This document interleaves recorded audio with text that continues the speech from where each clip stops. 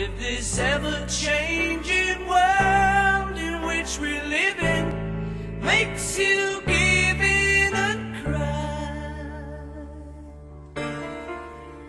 say live and let die.